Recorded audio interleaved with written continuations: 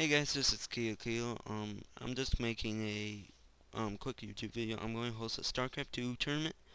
Just post your. It's going to be on the U.S. server. Just private message me, or just post your Battle.net name and friend code in the description. Not the description, the comments. And that's it. See you guys later.